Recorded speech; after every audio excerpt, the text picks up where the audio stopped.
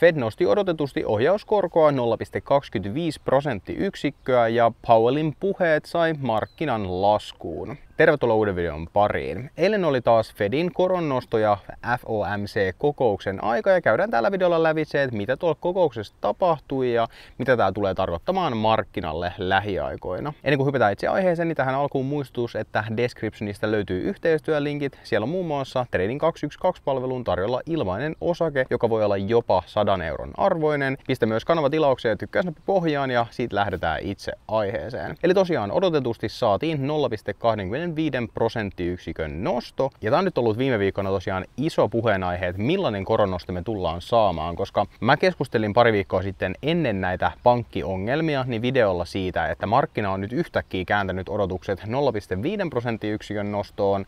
Ja sitten noin pankkikriiseilyt tuli ja sitten tosi nopeasti se meni takaisin siihen, että on 0,25 prossaa, mutta sitten taas uutena ajatuksena tuli se, että voi olla, että Fed jopa lähtisi keskeyttämään koronnostamiset kokonaan. Ja tuolla tiedotustilaisuudessa Jerome Powell kertoi, että Fedin jäsenet oli oikeasti pohtineet koronnostojen keskeyttämistä jo tässä kokouksessa näiden pankkien kriisien takia. Voi lintu mun päälle.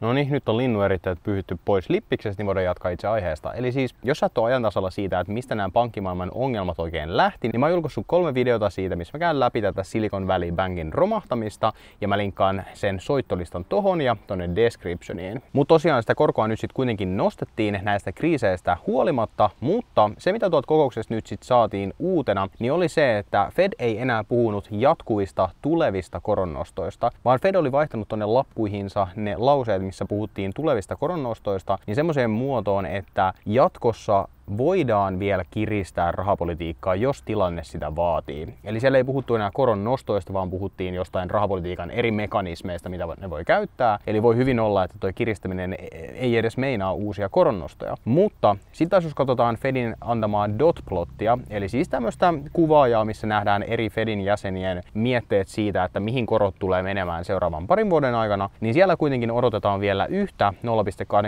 0,25 prosenttiyksikön koronnostoa tälle vuodelle, ja sen jälkeen korot pysyis noilla tasoilla vielä pitkään. Toi dotplot ei anna yhtään koron leikkausta tälle vuodelle ja ensi vuodellekin vaan muutaman, että mentäis pikkasen tästä alaspäin. Mutta on hyvä muistaa, että tämä dotplot ei todellakaan ole mikään tarkka suunnitelma, minkä mukaan mennään, koska vielä vuosi sitten Fed ei odottanut, että korot olisi noussut lähellekään tämmöisiä tasoja, ja voi hyvin olla, että muutaman kuukauden päästä tämä dotplot on täysin erinäköinen kuin mitä se on tällä hetkellä. Mutta tuon koronnostopäätöksen jälkeen markkina jopa lähti pienoiseen nousuun ja ei ollut mitenkään ainakaan negatiivisella tuulella ennen kuin Jerome Powell sitten rupesi puhumaan, mutta Powellin puheen aikana sitten taas markkina lähti laskuun siinä kohtaa, kun Powell toi esiin, että tämä pankkikriisi ja tämä korkotilanne, missä me ollaan tällä hetkellä, niin oletettavasti vaikeuttaa lainan saamista sekä yksityisille että yrityksille, koska pankkien likviditeettitilanne on tällä hetkellä todella huono. Ja se onkin kiinnostavaa tässä tämän hetken pankkikriisissä, että kyse ei ole siitä, että kuluttajat olisivat jotenkin ongelmissa tai kuluttajat ei pystyisi maksamaan omia lainojaan takaisin, vaan kyse on siitä,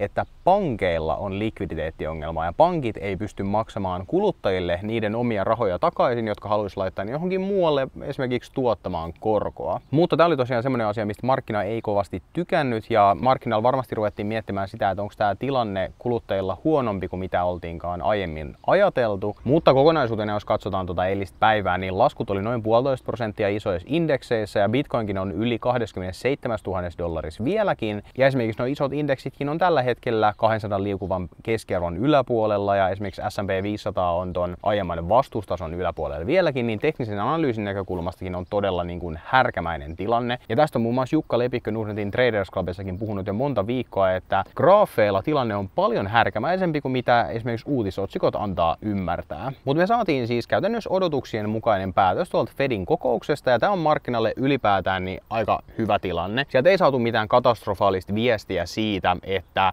tilanne pankeilla olisi todella huono tai tilanne kuluttajilla olisi todella huono tai että inflaation laskulle ei olisi nähtävissä merkkejä. Inflaatiosta Powell muun muassa toi esiin, että asumisen hinnanlasku on selkeästi nähtävissä, kaikkien fyysisten tavaroiden hinnanlaskut on selkeästi nähtävissä ja ainoastaan palveluiden inflaatiot, jotka ei ole tuota asumista, niin on enää se, missä ei nähdä disinflaatiota, niin kuin Powell sitä itse kutsui. Ja sitten kun me vihdoin saadaan noin asumisen hinnan laskut tänne inflaatiolukemiinkin, niin koska asumisen paino inflaatiossa on niin iso, niin se tulee näkymään vauhdilla tässä inflaatioluvuissa, mikä sitten näkyy siinä, että Fedin kiristystoimien ei tarvi olla enää näin kireitä. Ja ton tilanteen tullessa vastaan, niin todennäköisesti jopa tänä vuonna lähdetään laskemaan korkoja. Ja selkeästi Fed uskoo, että pankkeja voidaan kyllä tukea antamalla lainaa arvopapereita vastaan samalla kun kiristetään rahapolitiikkaa muuten. Ja tällä saataisiin pidettyä pankkipalvelut pystyssä ja inflaatio saataisiin pidettyä laskussa. Aika näyttää, miten tämä tilanne tulee tästä muodostumaan, mutta tällä hetkellä tosiaan graafit näyttää suhteellisen härkämäisiltä ja itseä voisi ainakin harmittaa, jos mä en olisi markkinalla tällä hetkellä. Pitkäjänteinen sijoittaminen ja säästäminen jatkuu siis normaalisti ja jos sulla on vielä etsinnässä sijoituspalvelu, niin kurkkaa tuosta sijoituspalveluiden käyttöoppaita